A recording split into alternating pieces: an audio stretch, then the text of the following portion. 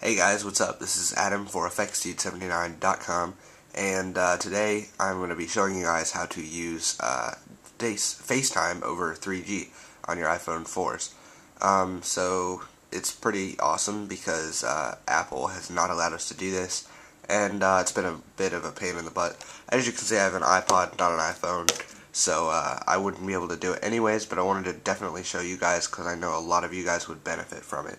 Um, so, if you're not jailbroken yet, I suggest you go over to my site, design.fxdude79.com. It's in the sub bar.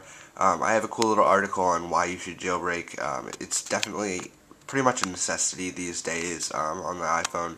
Um, so if you're not, you need to, um, especially for this tutorial.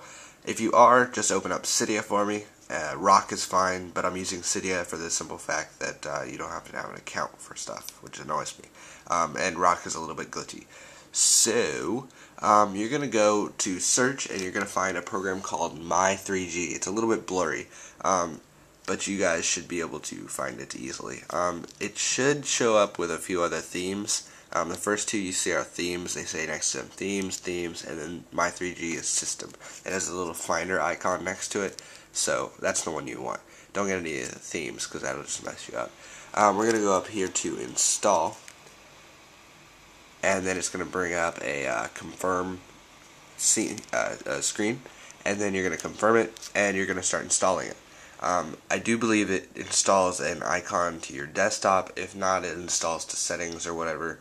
Um, but you should be able to open it up and select the um, uh, 3G to Wi-Fi mode, and then you can use FaceTime over Wi-Fi, which is awesome. Um, I hope you guys uh, have benefited from this tutorial. If you have, uh, please support by subscribing and also leaving some comments down below.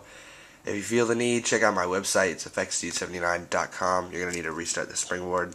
Um, and also, I just redesigned that site, and it looks pretty darn good. If I don't say so, ah, I just totally messed that up. Um, it looks pretty darn good if I don't say so myself.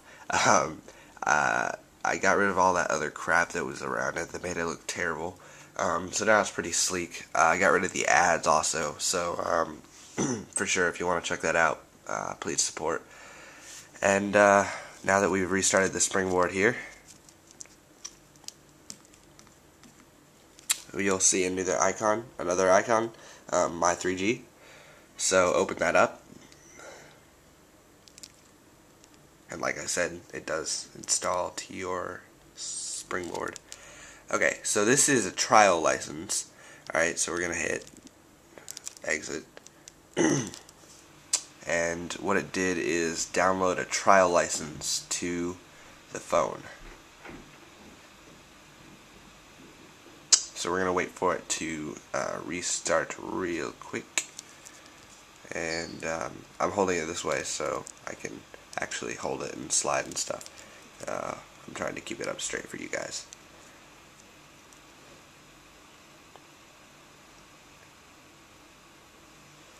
Okay, so now we're in the trial mode. Um, you do have to buy it if you want to um, uh, use it fully, but it's not a huge price, and uh, I believe it's only like 20 bucks, so it's really worth it. Um, you know, instead of having to run to find a Wi-Fi spot. Anyways, um, once you're in the app, all you want to do is scroll down and find FaceTime. Just tap on it once to select it, and then you'll be good to go. Um, so that basically enables my 3G to run on that app. And once you're doing that, you'll be able to use 3G on FaceTime. Okay, so hope you enjoyed this, and I'll see you next tutorial. Peace.